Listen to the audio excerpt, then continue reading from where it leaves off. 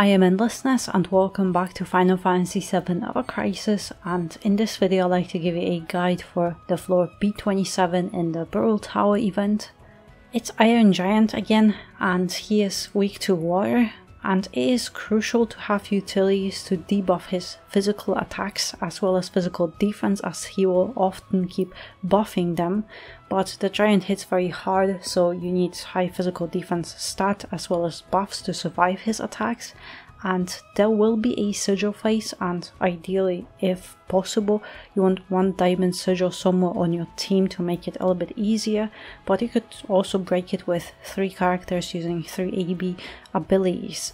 But since it's physical water then your best two options for DPS are Cloud and Glenn but Glenn without, without a question is the best option with his limited half anniversary gear and Slay Day that buffs his water damage, but I think Cloud's Maritime is still great despite being one year old. But we also have multiple water debuffing characters like Zack with Black Whiskers, Nanaki, Barret or Seph, and Aerith, Mats, Barret and Nanaki are also very good healers, and what is crucial for this battle is to have something to debuff Giant's physical attack and physical defense, as well as buff your own physical defense.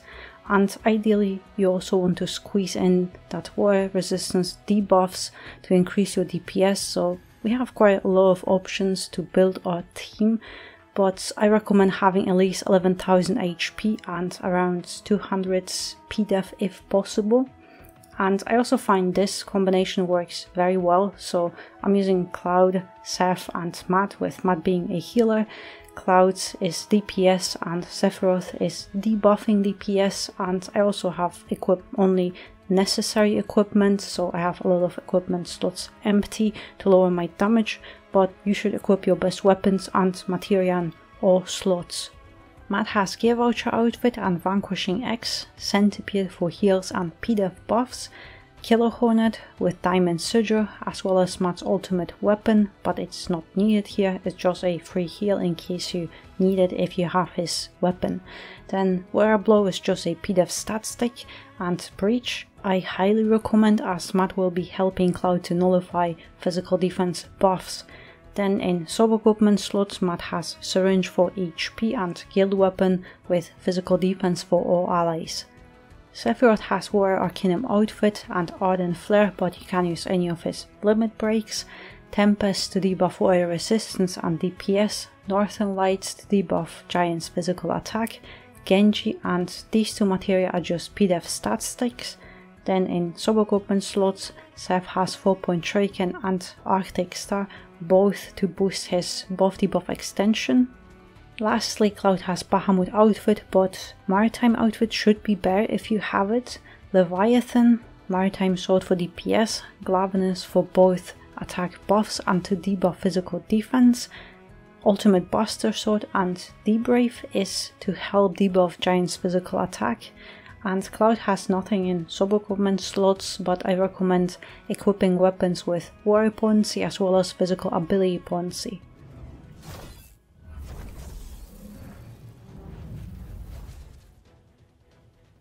So, Iron Giant, another old boss that we are revisiting because he was the second crash boss that we had after the game launched. But here, wait a few seconds and buff your physical defense. And then with Cloud, we have to help Sephiroth nullify this physical attack buff because you need to cast it again to to fully debuff him as, as much as possible. Because even though we are buffed and he is debuffed, he hits still very hard. And here you have enough AB to attack once, but then save your AB because now he will do Mighty Guard. And we want to nullify this, this physical defense buff as quickly as possible. Because as soon as you nullify that, you'll get toppled and stunned for a short period of time, so that's when we'll have time to recover HP and prepare for this Grand Sword again.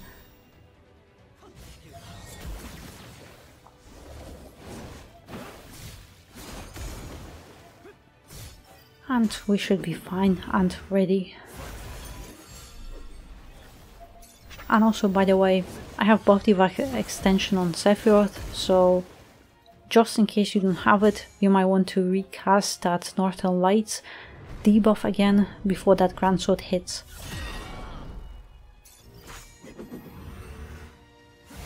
Because yeah, that was pretty close, it's flashing now, so whenever you see physical attack debuff flashing, just prepare to recast it instantly again, because you don't want to get hit by the giant that's without any physical attack debuffs.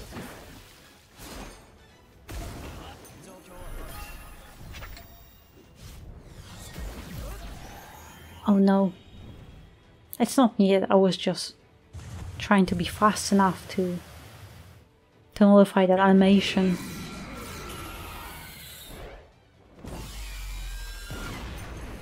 But also don't worry about this physical attack buff because now it's the sigil phase, at least it should be. Yeah, it's the sigil phase, so with Sephiroth try to nullify that attack buff because he will keep attacking one character during this sigil phase and he hits pretty hard and Smat is also busy breaking sigil so he can't heal or buff physical defense. But we should be fine here now. Great.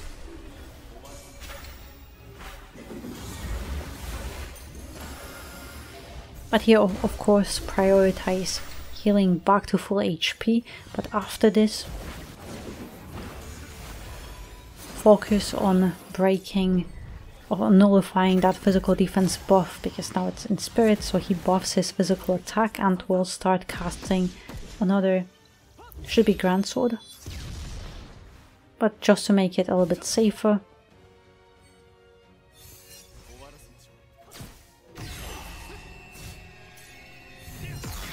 Oh no, Cloud managed to sneak that debrave in.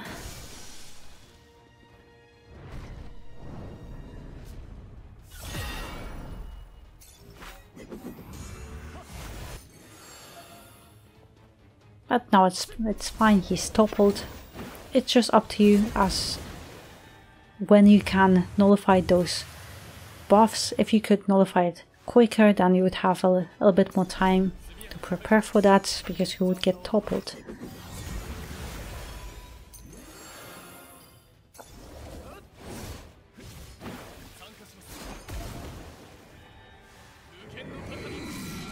And here you can use Ardent Flare whenever you want. I just saw my Genji buffs expiring, so I thought I would just use it.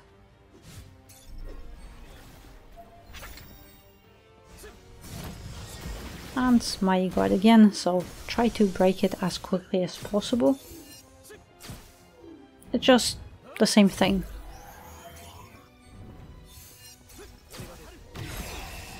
And luckily here you'll get toppled so we have with Sephiroth enough time to debuff his physical attack buff that he gets because that's a single target attack and it targets the character with lowest max HP, so in my case that's Matt.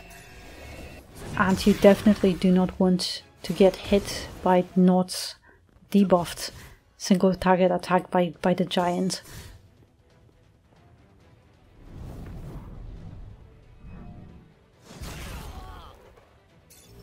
And just try to recover. Also if you want you can equip a single target cure for that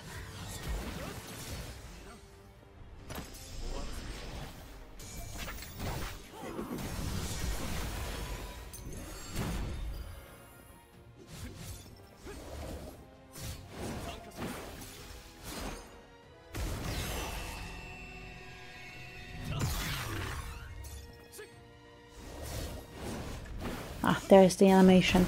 Because ideally now closer.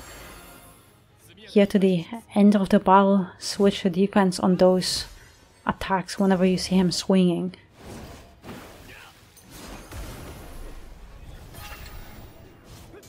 And now it's Grand Sword.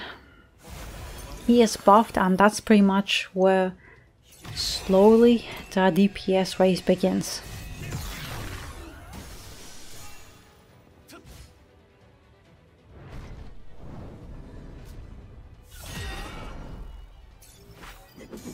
Try to recover and of course whenever you see you have Leviathan or the limit breaks and summons you can use them anytime.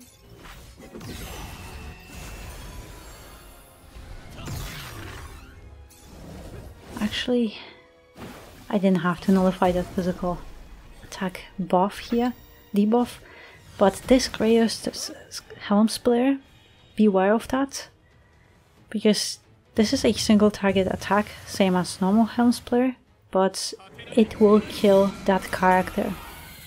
He is buffed enough that it'll be instant kill when whoever he targets, so beware of that, that's pretty much he will target another character then, so it's a DPS race because you have to kill him sooner before he kills all your characters. If it's a healer, that's that's still fine because you have your DPS still alive. But actually, that was funny because I, I managed to get it just in time for a clean clean run. But yeah, that's pretty much it. Just keep debuffing physical attack, physical defense whenever is needed and be prepared. And also don't let the giant hit you without being debuffed. But yeah, I hope you find my guide helpful and thank you very much for watching and I hope to see you next one.